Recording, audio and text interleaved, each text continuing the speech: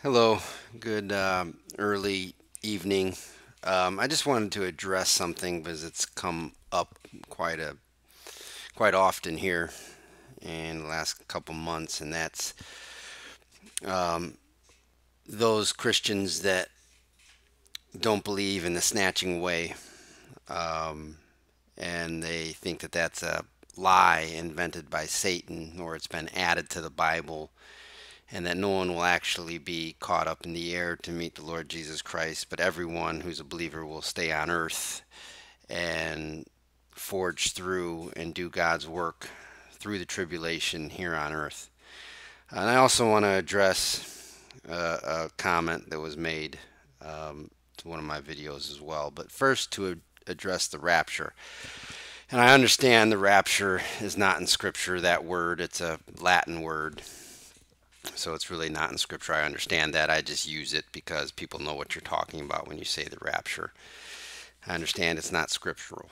Um, the snatching away or being caught up is the scripture used in the Bible.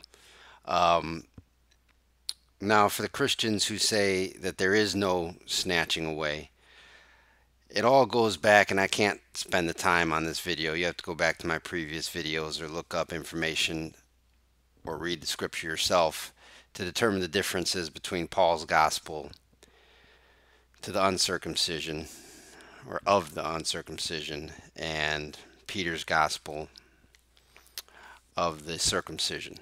So they're different messages.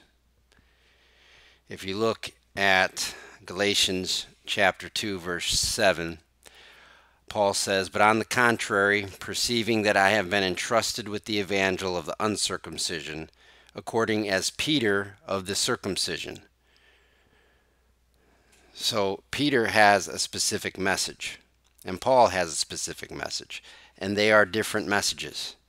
You have to understand that they're different messages. You have to read into that because you cannot understand scripture if you don't rightly divide the word by taking Paul's message and making it separate from Peter's message. And yes, Peter's message is the message that the physical Jesus Christ while he was on earth preached. But Paul got a message from that same Jesus Christ, but the glorified Christ on his way to Damascus when Saul of Tarsus was knocked on his horse off his horse and Jesus Christ gave throughout his career gave the apostle Paul revelations of a new message. That's why you have a gospel of the circumcision and you have a gospel of the uncircumcision.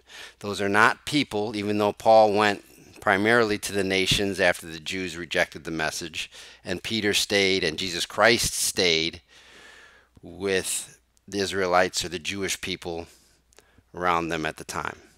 But the message itself is not specific to people. It's the message, the contents within the message that is different. That is why Peter says in 2 Peter 3:16 that there are elements of Paul's gospel that are hard to understand. Peter couldn't understand some of the elements of Paul's message because Paul's message had nothing to do with law and it varied. It was different from Peter's message. How else would there be things in it that he didn't understand? It has to be different. It's logical. You just have to think about it for a second when you read it. But if you go back to Acts, let's go to Acts chapter 11, verse 1 through 3. And this proves that they're distinct, different messages. Acts 11, 1 through 3. Now the apostles and the brethren who are of Judea hear that the nations also receive the word of God. Now when Peter went up into Jerusalem, those of the circumcision doubted him, saying that you entered into men having uncircumcision. Having uncircumcisions means that they are acting apart from the law. So it's not the group of people, it's what those people were doing, what those people believed that is different from the circumcision gospel. So it's a different message that Paul has from Peter. The circumcision has to do with the law, and the Israelites that will rule the earth when Jesus returns. So, those people that believe that message, and Christians are in the wannabe believers of this message, they will stay on earth. And some Christians are circumcision believers. But their destiny is the earth. So they will follow law. Granted, it's law that God will cause them to follow. It's not of their own will, which I'm going to talk here in a second. But that circumcision gospel is for people on the earth, so they will go through the tribulation. You will sustain, you will overcome, or you'll die as a martyr. You will stay on the earth. There is no snatching away for the Israelite believers that will stay on this earth when Jesus returns at his second coming. There is no snatching away. So you don't have to worry about it. it has nothing to do with you. You will stay on the earth. You can overcome and do all that stuff. That is not the message to the uncircumcision believers. It's a different message that Paul has. Paul got a message leaving Jerusalem. It's something separate. We are saved apart from law. Our message has nothing to do with law. So the uncircumcision, Paul says in Ephesians chapter 3, if we go to Ephesians, this is a secret. Paul says that he got this information by revelation. He didn't get it from Peter and the other apostles. He didn't get it from the physical Jesus Christ that walked the earth. He got it from the glorified Christ through a revelation of the secret that is made known to him. And that secret has to do with members of the uncircumcision, those that accept Paul's message, being seated among the celestials. So, our destiny, those that believe in Paul's message, those that have been called to believe Paul's message, will be seated amongst, amongst the celestials in the heavens. That's our destiny. That's where the uncircumcision's going. If you don't believe me, don't, don't believe me. Read chapter 1, chapter 2, and chapter 3 of Ephesians. It says it right there that this is a secret. It's a secret that is untraceable in the rest of scriptures. You can't find it because it's something new that Paul is giving by revelation from the risen Christ. So it's a different message. And that message includes the snatching away. Go back to Galatians chapter chapter 1. This is Paul speaking. Grace to you and peace from God our Father and the Lord Jesus Christ, talking to the uncircumcision believers, who gives himself for our sins so that he might extricate us out of the present wicked eon. Extricate us out of the present wicked eon. We're still in that present wicked eon, Mr. Christian. Do you believe that? Or has that eon passed? Are we in a good eon? No, the eon Paul talked about is the eon we're still in today, and he says that we will be extricated out. That means pulled out, just like the same word that was used in Acts 12:11 when Peter was taken out of jail. He was extricated out of jail. We're going to be extricated out of this present wicked eon. That's the complete opposite of enduring and staying on this earth through the tribulation and waiting for Jesus Christ's second coming. Two, why it makes no sense to be snatched up in the air, as Thessalonians says, and then come right back down to earth. We get snatched in the air because we're going to heaven. That's our destiny, according to First, Second, Third uh, Ephesians. Paul is not part of the twelve tribes of Israel. His name is not written. He's not going to rule like the apostles are because they're on earth. His message is one of heaven.